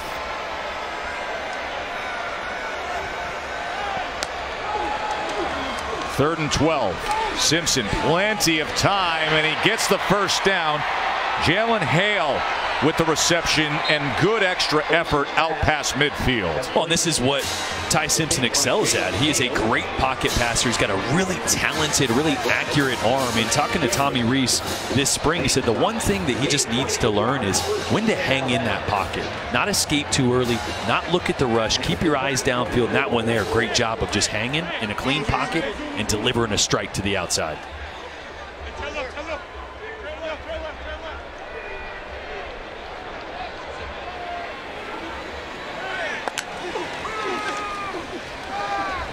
Simpson. There's a good example of exactly what you're talking about to Hale. Yeah, it's just the arm talent, right? I mean, a much different quarterback than Jalen Milroe, right? He, he can get outside the pocket. He's not not mobile, but he's not going to beat you with his legs. But that is what he'll do, deliver a strike on the run. And as a young quarterback, sometimes this is when you're at your best. When you're not thinking, you're just being an athlete. Great pickup there by the other true freshman there, Jalen Hale. He has big upside, number 14. It's been an assembly line of star wide receivers for many years at Alabama, and Hale could be one of the next great ones. Jam Miller, he is tripped up but falls ahead for a gain of about three. Rayner with the tackle. And again, important reps for Ty Simpson, right? Because I think he was in the middle of a quarterback competition all spring into fall camp. I think he believed he really had a, a, shot to win it and then brings him back, like you mentioned, against South Florida. But then the job is taken away. And I think he's just felt like he needed an opportunity. You never know when that opportunity could come. It could come in an SEC championship, and you got to be ready. So valuable reps here.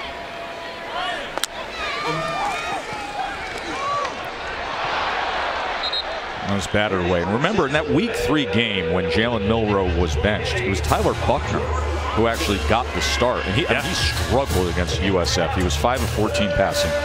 Then Simpson came into the game and rallied them for the win. But all off season, people saying Milroe, yeah, we get it. Simpson, he's the more accurate guy with the arm. Buchner, though, knows the Tommy Rees system. And now you're sitting here with one of the best quarterbacks in college yeah. football, number four, with his helmet off, having a six touchdown day in three quarters. And now things change. Ty Buchner to the side there, the former Notre Dame quarterback. And obviously, I only reference the development of, of Simpson because you have a quarterback that runs so much. Yep. Right? I mean, puts himself at risk. So you know, hopefully he stays healthy for the long run that Alabama has ahead of them. But in this league, you always got to have a guy that can help you win games as a backup. And Ty Simpson's on that way.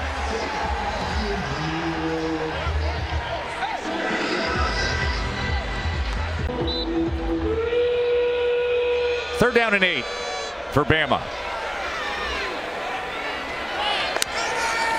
Pressure on Simpson. They pick it up.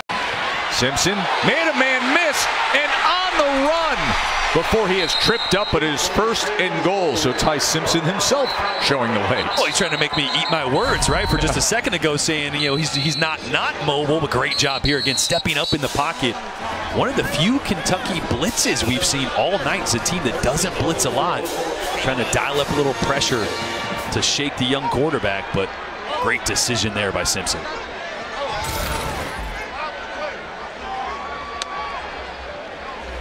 Redshirt freshman. His father coaches UT Martin.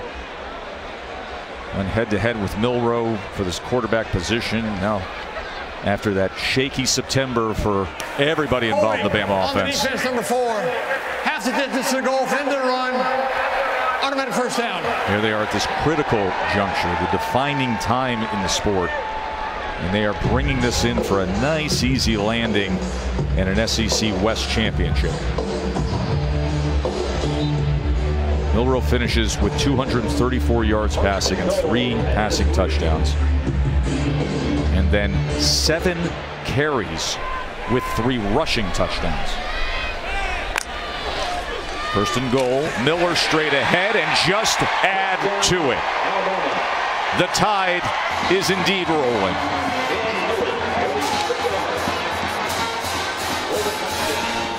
Well, the physicality up front's been really impressive, right? Just the last, I don't know, since the middle of the second quarter, you felt like this offensive line started to hit their stride. And it's a big physical Kentucky defensive front that is stout, that is tough to move, but open up some big holes for Jam Miller, Jase McClellan, and Roydell Williams. It's good kick out by Tyler Booker, the pulling guard on the left side from New Haven, Connecticut, and then made his way to IMG Academy in Florida. Just 6'5", 350. Yeah, exactly. That's all. Yeah. And that is how we got the day started as senior coordinating producer Baron Miller put that together working with the Army this week, both on SEC Nation and then to open up our broadcast, Jordan. You were up there flying with those Flying Tigers. Unreal experience. We'll say, too, they gave us a little... Uh, a little ride to start it. We hovered off the ground just a little bit, and that thing just took off. I mean, I was not ready for it. Had to check my seatbelt once or twice. Matt Barrie, what do you got? Just have to be sitting back and saying, in big spots, can I we know. please score? College football playoff rankings are brought to you by Prudential. Of course, the CFP path. We've had nine years of the CFP, 36 teams, 15 undefeated, 21 one-loss teams, never a two-loss team. And of course, Bama, a one-loss team, unbeaten in the SEC and hoping to be an SEC champion. Ramon Jefferson with the carry. It's a great run by Jefferson. A little fourth quarter spark for the Cats as he's taken down and tracked down by the always hustling Caleb Downs. Boy, not much there. I mean, the initial blocking was just okay, but lanes on the back. And Kristian Story here comes in, number four, and just uh, overruns the ball a little bit. I tell you what, there's nothing that'll get Nick Saban fired up more than that right there. You see in the progressive pylon cam, almost taking it all the way. So a 74 yard run by Jefferson. And he couldn't get the payoff, and the ball may have come out at the end there. Was he down, or did Alabama just recover the fumble with Kristian Story claiming that? I think that's out. It looked like it was out. And again, I just mentioned that Kristian Story, who was filling in for the injured Jaylen Key at safety, missed the tackle on the previous play. Look at this. Oh, yeah, it's out. That's a fumble and a fumble recovery by Kristian Story, and did it all on his own. Wow. You're going to fire up Nick Saban. Now you're going to make him a little happy. By the way, put that on the tape for youth football Oh. as to how to do it. Shoulder right on the ball, leverage at the goal line. This should be Alabama football. Yeah, Instead, it's Kentucky trying to get it in. I cannot believe they're not reviewing that. I don't care that it's 49-14. Just officiate the game properly. How did they not? How do they not go back and look at this? Watch the knees. Watch the shoulder. I mean, it's it's close, but from You gotta other look at it, angle, right? Yeah, from the other angle, it looks like that ball starts to move right there. See, look, it's between his legs there already. I don't know. That's maybe it's simultaneous there. I get a little carried away there, Tess. Third and goal. Davis straight ahead and in for the touchdown. Ray Davis scores again.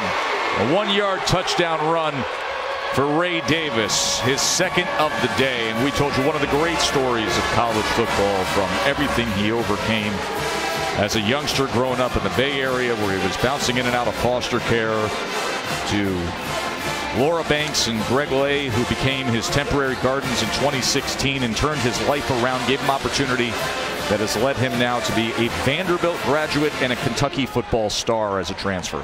And you love rooting for guys that not only are just good at football, but just good human beings, right? The character of him, the work ethic, the humility. You spend a little time around Ray Davis. There's Well, a one-loss Texas is the team that people point to and say, "Ah, that could be an issue for a one-loss Alabama Yeah. team, but Kendrick Law on the return. Here's the one thing I know. If you get an undefeated Georgia against this Alabama team playing for the SEC, I don't get there's no discussion for me to be had. But you know the history of in the CFP era of early season losses that can be dismissed. Well, I think that's why we went to this type of model, right? Because you want to be able to appreciate the teams can get better. They can lose early and circumstances and players and teams get better and things change. And nobody exemplifies that more than this Alabama team right here. Are they not night and day different right now than they were against Texas week two? Oh, absolutely. It's I mean, not it's- even the same. No. I mean, the, the quarterback position is just miles and miles beyond what it was back then. This is Justice Haynes, a true freshman running back. And then, all right, so you think about Oregon as a one-loss team. You think about Texas, and let's say everybody wins out and you get to these championship games. I think Alabama would benefit from Oregon topping Washington, Oregon winning, they'd have a resume that tops a one-loss Oregon team, even an Oregon team that's wildly respected, because that would be an Alabama team that's then defeating potentially an undefeated Georgia. team. That's the trump card, right? Right, I mean, that's the ultimate trump card. Totally. It's the best win in football. It would be at the most pivotal time as well. Haynes again, Justice Haynes. He is an ultra talented true freshman. You talk to those around the program about this running back group McClellan, Williams, Miller, Haynes. And they'll always finish every conversation saying, well, Haynes may be the most talented. Yeah, and, and Saban didn't shy away from that even back in the spring when we were here around the program. I think him developing as a guy that can be a three down back, right? Be good in pass protection, be good out of the backfield. I mean, he is a an electric ball carrier, a physical bowling ball that gets going downhill. He'll make you miss as well. And as he develops into a guy that can do everything, even on a third down, he's going to continue to fight his way into this lineup. Ty Simpson has been in at quarterback for a while now as Milroe was taken out after his six touchdown day.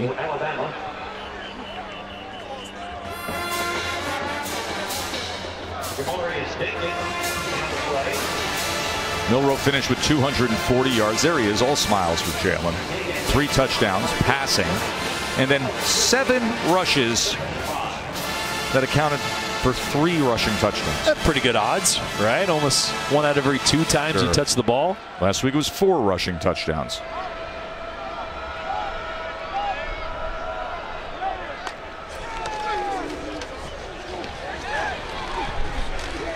By the way, Michigan has defeated Penn State.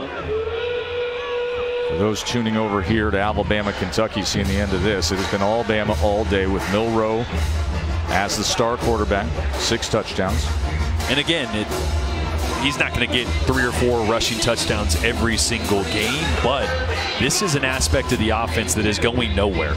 Leaning on his athleticism and his ability to run the football to set up those play action passes and those shot plays downfield. Richard Young just carried it for three yards. Now Haynes back into the game.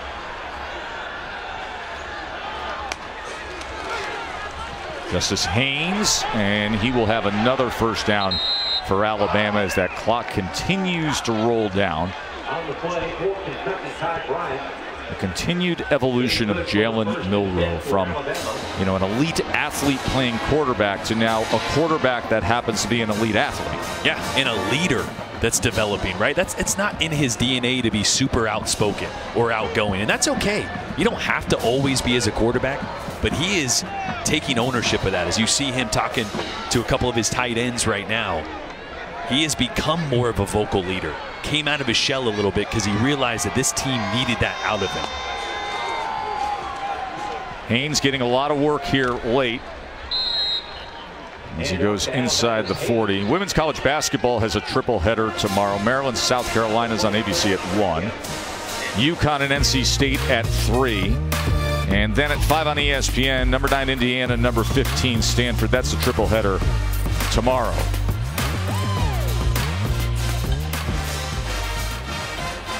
Ray Davis, his day was only 26 yards, did have a couple of touchdowns, but for Kentucky to find any rhythm on offense, they need that rushing game, and they just couldn't get it against that Alabama defensive front. Young, his carry goes for a couple of yards. Yeah, I want to talk to you about Ole Miss and Georgia tonight, Jordan. we spent last week with Ole Miss. You know what they're capable of doing. Georgia's defense doesn't have Jamon Dumas Johnson, the outstanding linebacker. He suffered a fractured forearm against Mizzou. How does that change the complexion of the game? Well, it's huge. Similar to not having Deontae Lawson today is Jamon Dumas Johnson is the quarterback of that defense. He's calling out everything. And when it's a team like Ole Miss, unlike Kentucky that goes so much tempo and unbalance and movement, that puts a lot of stress on that position. Now, I'm going to follow that up with the fact that Georgia's recruited pretty well. Pretty? Yeah, I mean, you know, so the drop off is not going to be super substantial. But I just look at this Ole Miss team, and I think they're so much different than what we saw against Alabama earlier in the season. Jackson Dart playing at such a higher level. Quinshon Judkins looking like one of the best guys in the country once again after a slow start. They can find a way to jump out early and make this a game. There is a path to victory. And they have a clear number one receiver. Yes. In Tre a dude, Harris. Tre Harris. I felt like last week we were calling that game against A&M. Every other play, we're just, I mean, jaw-dropping catches from Tre Harris. Jaw-dropping incompletions on catches Yeah. he was making out of bounds. But again, there's a reason Georgia's won 43 of 44. So you have to be perfect against him. Fourth and three, Simpson, and he gets it complete. Heck of a play that time by Ty Simpson to get that ball complete as he's able to find Kisselman.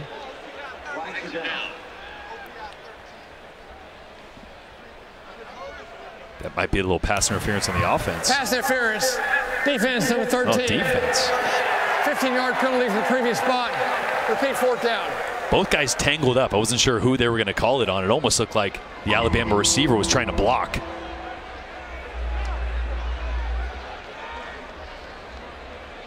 I know they're closing out the game here, and not a crisis point in the game, but that was just the third time this season that Bama's gone for it on fourth down. The total antithesis of everything Lane Kiffin and Ole Yeah. Miss's offense is that we were just discussing. And it was on the offense.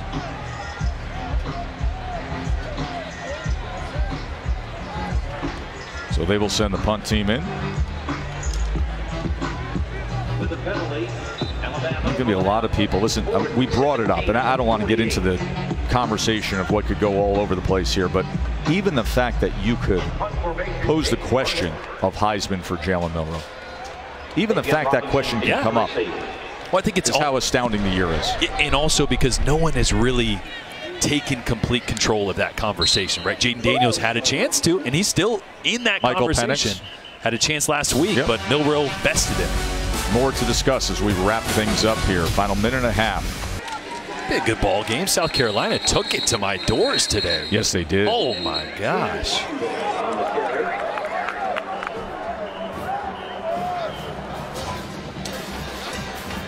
There is Devin Leary, who, of course, will try to reset things for that showdown against South Carolina. Today was 17 of 31, 158 yards, a touchdown interception, and was sacked three times. I felt like he was under pressure a heck of a lot. Didn't have much of a chance, right? No run game, no protection.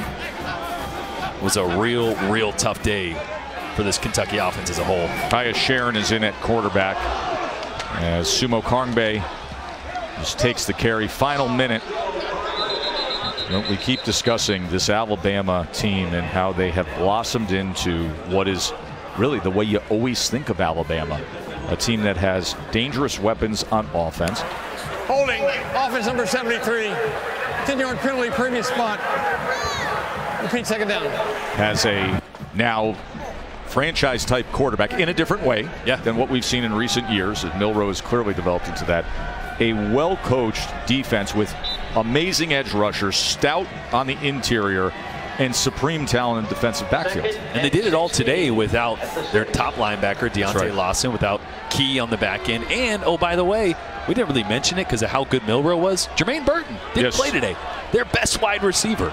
And you go on the road, put 49 points up against a, a stingy Kentucky defense and team that is always a tough out. Jermaine Burton, who went for 197 yards, nine catches against A&M this year. So they'll get healthy. Obviously, next week we put up that promo, and I know people hate when, when you call it Cupcake Saturday, Yeah. but that's what it is. It is. It's a get healthy week next week. But this is an Alabama team that has done it again. They are the SEC West Kings. They're going to play for the conference championship. And they've got a great story at quarterback with a dynamic weapon in Jalen Milroe. The Tide, your SEC West champs for the 15th time in school history. Katie. Thanks, Tess. Coach Saban, with today's win, you clinched the SEC West title, something you've done many times before. What does it mean to do it with this group in particular? Well, you know, no matter how many times you've done it before, you're happy for the group of guys, what they've done, how they've improved, how they've worked hard all year. I'm really proud of this group, man. I love this group, this team. Um, so hopefully we just keep learning and getting better. It gives us an opportunity to play for the SEC championship. Jalen Milroe had another incredible performance. Can you put in perspective the growth and development we've seen from him over the course of the season? Well, he's done a great job. You know, he stayed very positive about what he needed to learn to improve and grow and get better, and uh, learned how to play the next play. And he's done a fantastic job for us. And I think the team has a lot of confidence in him. He's become a leader, and uh, we're really excited that he's given us an opportunity to get where we want to go. Congratulations on the win. Thank you. All about the opportunities. Nick Saban always reminds them of that. He said this week, it's time to make a choice. Who knows what happens from here? What happens right now is you play for the SEC championship. Jalen Milroe was the star, Katie. Yes, he was, Tess. Jalen, you're the first player in Alabama history to account for three passing and three rushing touchdowns. When you think about this season and the way you're playing right now, what makes you most proud? What makes me most proud is the, how much uh, we had to go through as far as adversity and our grit. Um, I think that's the biggest thing about this football team is that we have not given up. Um, with all the things that we've gone through, I think I just, I'm just having fun with the guys. That's, that's pretty much what it's gone, gone down to. And then well, also with Coach Saban and Coach Rees trusting in me to play the position. So uh, I thank them um, to allow me to perform and allow me to be the best quarterback I can be. You told me this week your greatest strength is your mental and physical toughness. How's that left thigh? It hurts, but hey, the biggest thing was, was getting the win and playing the guys and doing my job as much as possible. Um, so the thigh will be all right. It was all about winning. Have fun in a couple weeks in Atlanta. Thank you. Roll Tide! Oh, they're rolling, Jalen. Don't you worry about that.